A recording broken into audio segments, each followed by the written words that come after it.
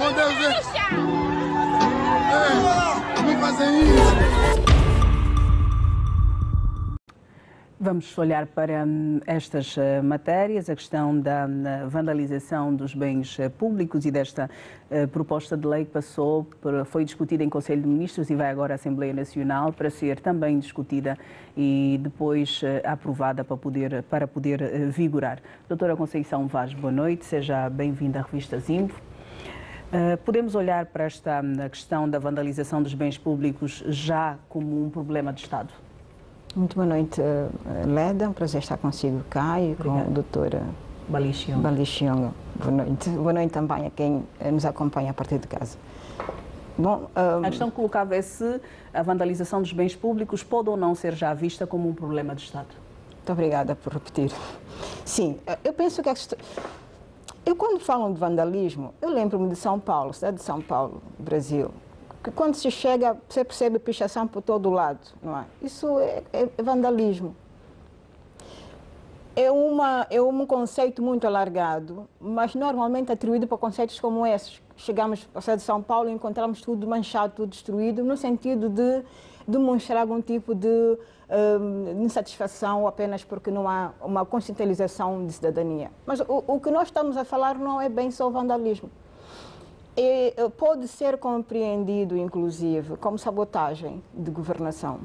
Um, e como é um assunto que nós discutimos aqui, ou se discute aqui reiteradas vezes, estou lembrada de vários elementos que já se discutiu aqui, designadamente de redes identificadas, que inclui bastantes estrangeiros na mobilização.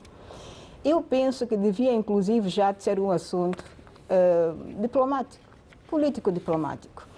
Porque se, se, se, se identifica, é possível e necessário fazer-se também identificação do perfil das situações que ocorrem, sinalizar padrões.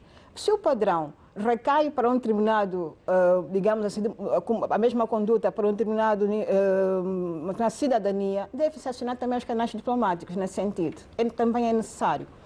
Mas eu penso que situações como estas deve ser uma atuação imediata da autoridade de Estado. Imediata e valente, porque eu estou lembrada na altura, no primeiro mandato do presidente João Lourenço, houve aquelas operações, não é? Operação Brilhante, Operação qualquer coisa, não estou lembrada agora. Houve vários movimentos de operações criados. Na altura, a minha defesa e a minha, o meu entendimento que era no sentido de restaurar restaurar a, a, a autoridade no, no, território. Portanto, isso para mim é sinónimo de falta de autoridade no território. Portanto, para mim isso pode ser sinónimo de sabotagem governamental, pode haver uma anarquia, um sentido de sabe-se quem poder, no sentido de que todos agora nós roubamos, porque abre o jornal, roubaram carteira, roubaram giz, roubaram... Quer dizer, é, parece, parece que estamos num estado de anarquia e, e, isso é preciso que se restaure a autoridade. Eu penso que estamos a falar fundamentalmente da autoridade, de sabotagem governativa e esse tipo de situações devem ter uma resposta imediata e competente, supondo da restauração da anarquia.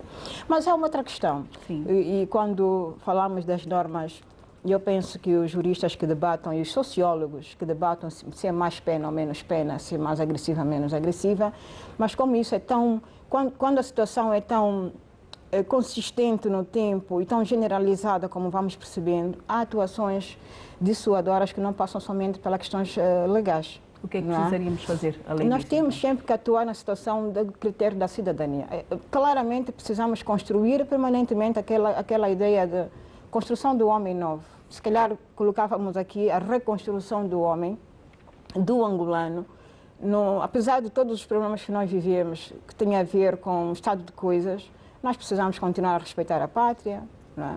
respeitar a pátria, uh, uh, respeitar o nosso, nosso papel como cidadãos.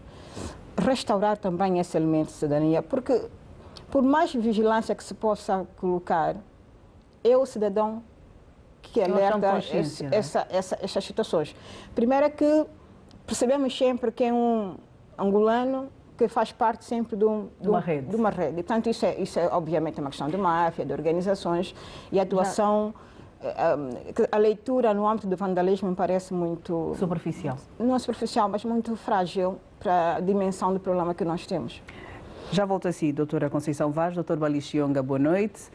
Que notas nos pode dar, primeiro, sobre este projeto uh, de lei que vai agora ao Parlamento, passou em Conselho de Ministros, agrava as, uh, as penas para as pessoas, uh, para os autores envolvidos na vandalização de bens públicos. Antes, preciso sublinhar que os setores da energia, águas, transportes, telecomunicações, saúde e educação têm sido os principais alvos dos prevaricadores. Não, boa noite, Leda. Boa noite, doutora Conceição Vaz eh, e os telespectadores em casa. Leda, nós estamos de facto numa, numa situação que apela não só à, à aprovação, à apreciação de leis, nós, nós temos que ter aqui uma mobilização social para a restauração da ordem. Então, estamos mesmo a falar da ordem e, portanto, estou de acordo com a doutora Conceição, diz que olhar, olhar para essa questão como vandalismo uh, não é não é não é concretamente mais evidente, ou seja, não, não estamos a ser eh, realistas. A, a, expressão a expressão deve ser essa. Por quê? Porque nós estamos já a falar e, e falou de máfia, já estamos a falar de uma economia do crime. Por quê?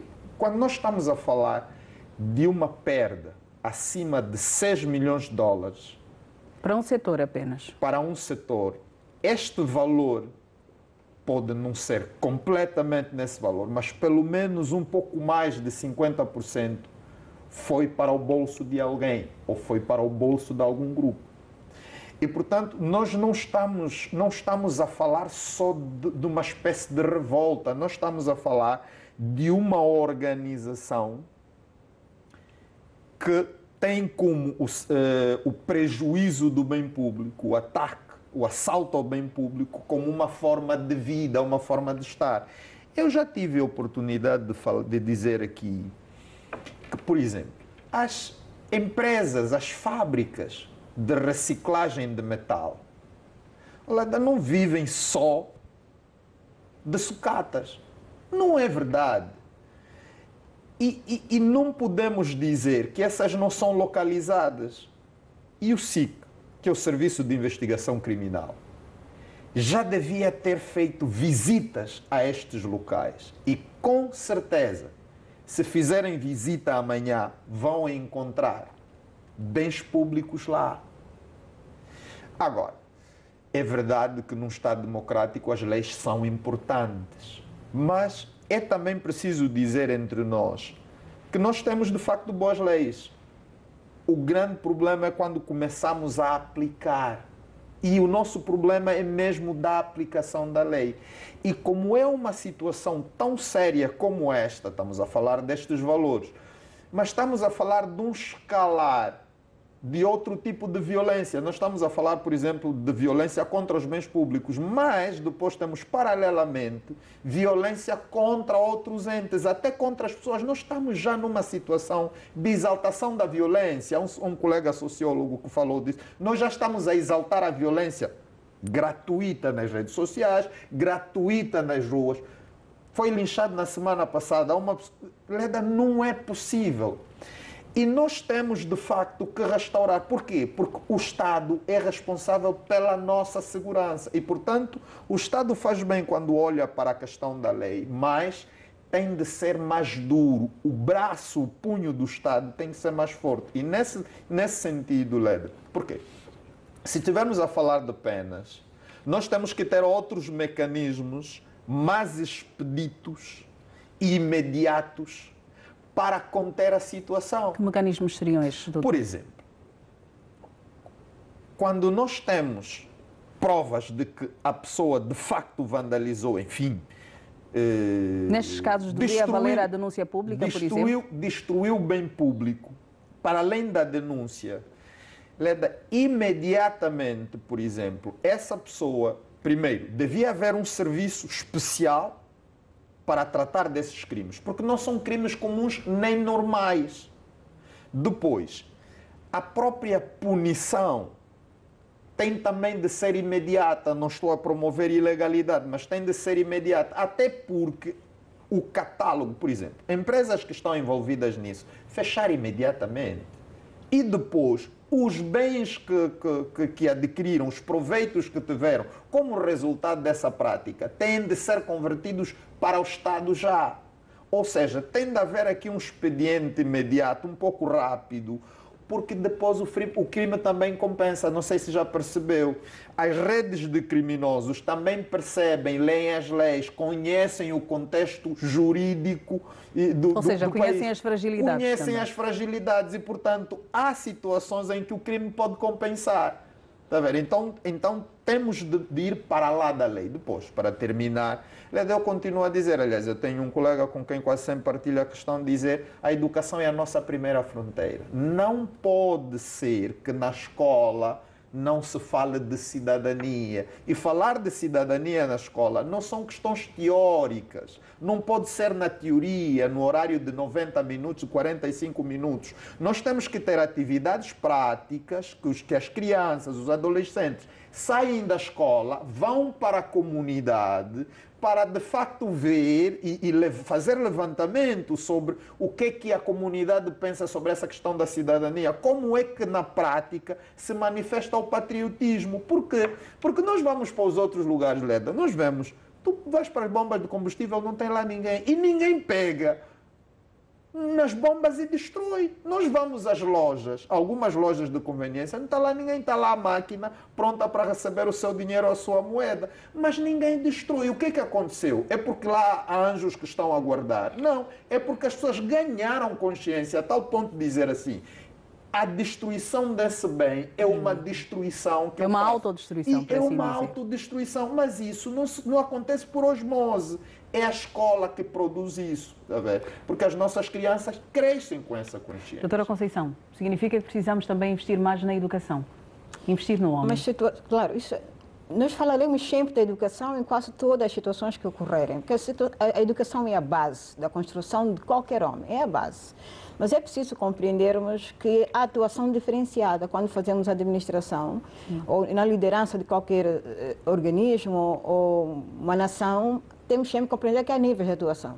A educação é sempre na base para a construção do futuro, enfim, da gênese, mas nessa situação que nós estamos a viver, isso, isso é abuso, quase. Tirar cabos, fundir, isso é uma coisa da anarquia. Mas nós estamos a viver um, e é preciso assumir isso, um quase estado de anarquia, um quase estado não é, da natureza, quando vemos que, inclusive, se me, se me permitirem esse parênteses, hoje queimamos pessoas muito normalmente na via pública, nós estamos a tornar...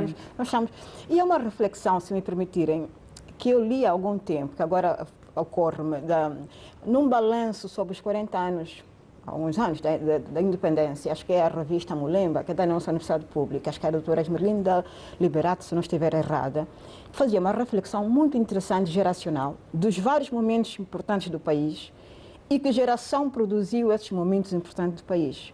De onde é que nós tiramos a geração do bisno, a geração do imediatismo? Elas não surgiam, não surgiram do dia para a noite surgiam como consequências. Situações como essa são consequências. Portanto, nós precisamos analisar a causa. Obviamente que não vamos agora fazer muitos estudos para cautelar uma situação grave como esta. Precisa uma atuação imediata. Essa, essa, essa atuação é é, imediata e com força e com competência. Mas também temos a questão preventiva, que eu me pergunto sempre onde é que anda a inteligência desse país, com devido respeito para as, as, instituições. Mas são situações que a inteligência comercial, a inteligência do país, devia ter o um mínimo de informação para que não se chegue a esse estágio. É que o estágio que nós chegamos é alarmante e obriga-nos a questionar o papel das instituições. Mas num sentido mediano, para não irmos já para a educação de base na construção do novo homem, como os mais pequeninos, há também o papel dos uh, ativistas sociais. É? Hoje nós temos um fenómeno social que são os coaches, não é? e têm feito um trabalho excelente. Às vezes brincamos uh, e gozamos desse trabalho, mas é um trabalho extremamente importante porque moraliza, porque ajuda a dar energia, a motivação, enfim. Mas esse trabalho, em vez só de ser em algumas elites, em alguns grupos, podem ir ao nível do papel da, do do, do, ativista social ir mesmo para as comunidades. O ativista social não pode ser, não pode ser só sinônimo de, de, de manifestação, não. ele deve também poder ir para a comunidade no sentido de sensibilizar. Nós não podemos perder-nos totalmente. Tá? Portanto, estas seriam medidas imediatas e do ponto de vista do intermédio, mas a, a construção da, da, da, educação é fundamental. Nós, quando fizemos a primeira classe aqui no nosso país, nós fazíamos canteiro nas escolas. Se nós fazemos um canteiro, temos a preocupação sempre de proteger qualquer planta. Eu vou lhe dar um exemplo, que uma equipa minha, há dois dias, reuniu com uma instituição de, um, de uma província e foi-lhe dito assim, olha, aqui nesta província não convém produzir uh, frutas, porque há muitos roubos. Então não convém fazer a produção aqui de frutos. E, quer dizer, eh, chegamos a um ponto que, que são coisas que não fazem muito sentido, não é? Portanto, desincentivar inclusive a produção porque a, a população chega. Portanto, é, nós temos trabalhos de fundo a fazer, ao nível comunitário, ao nível das, das pequenas, dos pequenos bairros, para sensibilizar continuamente enquanto a escola faz o seu papel do, do ponto de vista gradativo. Mas a situação é, é, é, é, lastimável. Eu penso que as autoridades sabem o, o qual o pergaminho. É evidente que, eventualmente, a questão da lei poderia ser o tal elemento de fracasso, porque se prende depois a lei eh, tira no momento seguinte, a, toda a atuação anterior não tem qualquer sentido. De modo que essa discussão tem todo um sentido, mas é preciso que façamos sempre a abordagem multidisciplinar, porque nós, nós somos, temos construído uma, um perfil de, de ineficiência a nível de todas as ações que vamos desenvolvendo, de muitas ações, e era bom que nesse sentido isso fosse parado imediatamente, tem que ser estancado imediatamente. Doutor Bali, antes de olharmos para a próxima matéria, gostaria de sublinhar, ainda nesta questão da vandalização dos bens públicos e da proposta de lei, que uh, existe uh, também a previsão de uh, agravar-se a pena para os cidadãos estrangeiros envolvidos neste tipo de crimes. Este diploma prevê, além da pena de prisão, a expulsão do território nacional, um ato a ser praticado após o cumprimento da pena. Sim, Leda, e, e, eu costumo dizer, nós viajamos muito e, e, e nós não chegamos no, no país, no, no país, uh, no estrangeiro e, fazemos isso, ou seja, o, o que alguns estrangeiros fazem aqui em Angola, nós não fazemos no, no país dele. E se, e se, fizermos, já, já sabemos o que é que vai acontecer. Nós temos muitos angolanos com problemas de justiça no estrangeiro, exatamente por desrespeitarem o bem público e desrespeitarem a pátria alheia. E, portanto, mutatis mutandis, ou seja, nós também temos que dar dignidade ao nosso próprio Estado, temos de nos fazer respeitar como se diz, em nossa casa nós temos a responsabilidade de cuidar dela. Aliás, a forma como nós cuidamos da nossa casa é logo um sinal que nós damos à pessoa que nos vem visitar. E por isso a nossa responsabilidade é maior. Mas, Leda, nós estamos no direito internacional, o princípio é do respeito, da boa-fé e da reciprocidade. reciprocidade. E ponto, dito isso, fica tudo quase dito também, para, para se pleonasmo. Ou seja, se nós temos um estrangeiro que é sempre bem-vindo para investir, para ficar conosco e tal, para conviver, mas se depois tem comportamentos que colocam em causa a nossa segurança, a nossa dignidade e o nosso respeito, temos que chegar a, essa, a, a, a essas medidas. Para além da questão da, da, da punição, claro, é persona não grata, não pode voltar a entrar para o nosso país. Pelo menos se o fizer, depois de alguns anos, com um comportamento completamente renovado e retratado. Não, não podemos, eu queria repetir isso. No âmbito diplomático, estamos a falar no caso de estrangeiro, tem que se reforçar a questão diplomática. Também servem para isso os mecanismos diplomáticos. Temos uma comunidade. Se houver um padrão para determinada comunidade, os veículos comunitários servirão para o quê? Sensibilizar a tal comunidade, inclusive identificar, diagnosticar entre eles para também policiarem-se porque há, há o quê? Há um, eventualmente uma sanção ou uma, uma situação que os desmereça naquele meio. Isso pode fazer, pode criar também dissuasão para essas práticas. Portanto, o mecanismo diplomático é, é, é fundamental também na intervenção desse tipo de aspectos. Não deve ser uh, negligenciado, descurado. A expressão correta seria descurado. Vamos. Acorda cedo, põe o pé na estrada, deixa o em casa com uma vontade de voltar para casa. Quando chega a praça,